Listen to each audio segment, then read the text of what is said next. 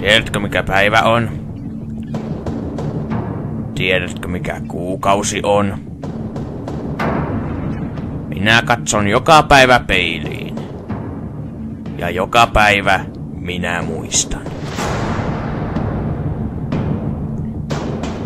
Te pääsitte hänet menemään. Ja nyt hän on karannut.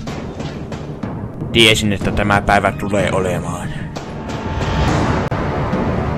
Mikä tuo teidät tänne kymmenen vuoden jälkeen? Michael Myers. Kymmenen vuotta sitten hän halusi tappaa siskonsa. Nyt hän haluaa siskonsa tyttären. Missä tahansa hän onkaan, se pikkutyttö on suuressa vaarassa.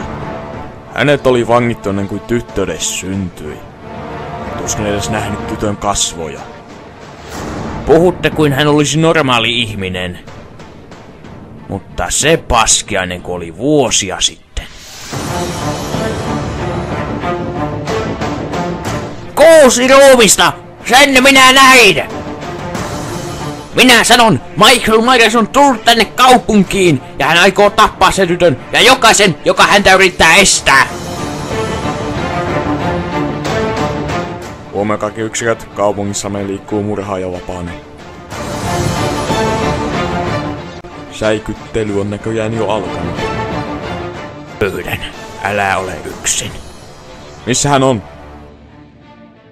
Ketä helvettiä vastaan me oikein taistelemme? Sitä juuri.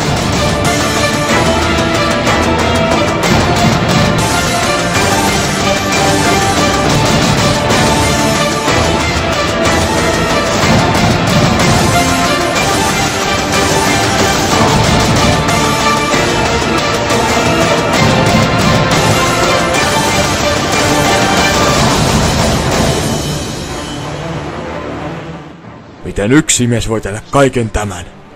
Se ei ole mies.